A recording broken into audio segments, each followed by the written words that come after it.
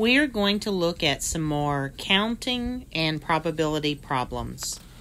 In this first problem, they are telling me that customer account numbers for a certain company consist of two letters followed by five single digit numbers. These are all numbers here. Okay, they want to know how many different account numbers are possible if repetitions of letters and digits are allowed. So that's important to pay attention to. So, starting with the first letter, there are 26 different letters to choose from in the alphabet. Since they tell me that repetition is allowed, there would also be 26 choices for the second slot. Now, when you think about single digit numbers, there are 10 of those. So you do have the digits 1 through 9, but you also have the digits 0. So there would be 10 choices for the first number slot. And since repetitions are allowed, 10 for the next slot, 10 for the next, 10 for the next, and finally 10 for that last slot. So 26 times 26 would give me 676. And then when you multiply that by 10 five different times, that's going to add five different zeros on the end. And so we end up with 67,600,000 different um, account numbers for this company. Okay. The second question talks about there being four sets of balls. They are numbered 1 through 5. So one, two, three, four, five. So then there's another set. One, two, three, four, five, and so on. So four sets like that. And it says four balls are randomly chosen without replacement. So I'm going to think of four stages here.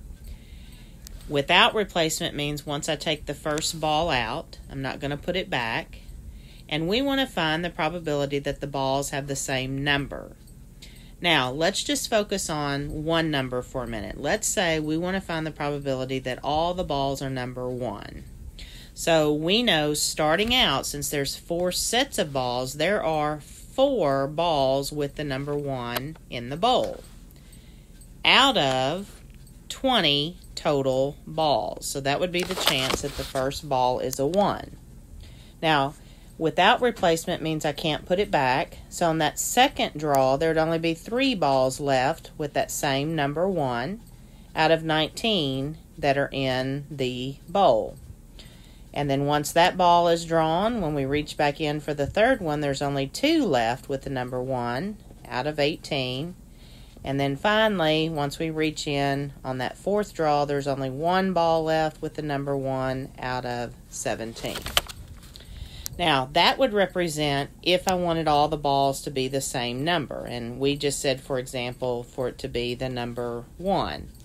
Well, there are five different numbers that could happen with, so you're going to end up multiplying that number by five. Now, you can get straight on a calculator, or I like to do a lot of reducing and then see what I actually have left.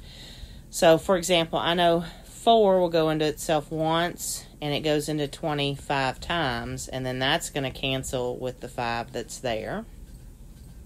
I know that 3 will go into itself once, and it goes into 18 six times. And then I can say 2 will go into itself once, and it goes into 6 three times. So now if I let multiply what's left over on top, I just have a 1 times another 1 times a 1 times a 1. So I just simply have 1 over. And then if you multiply what's left on bottom, you have a 19 times a 3, which is going to give you 54. And then times uh, the 17,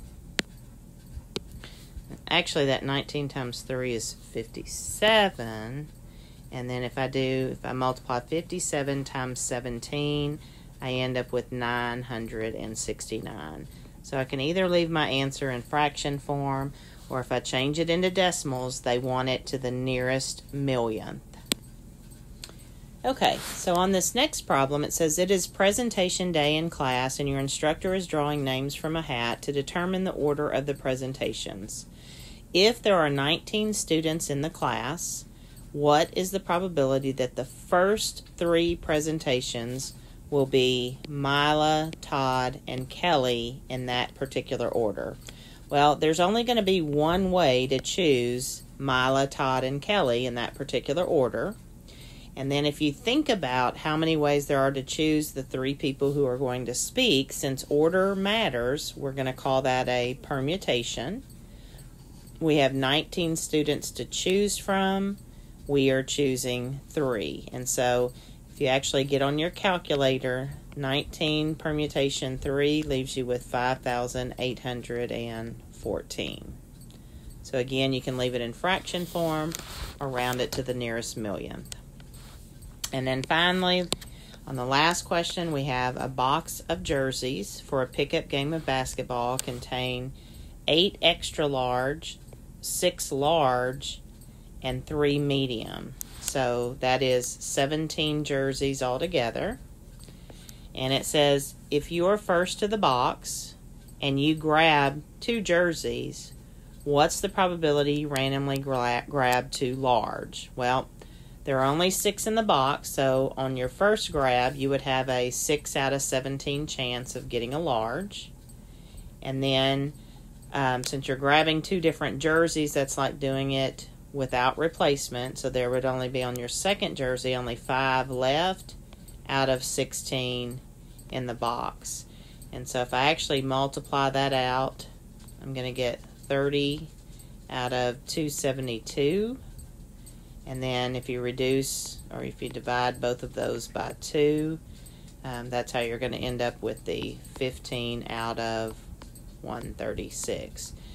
And you could also, if you wanted to, instead, you could reduce first. I could say 6 divided by 2 leaves me with 3, and 16 divided by 2 leaves me with 8, and then you still get the 15 over 136.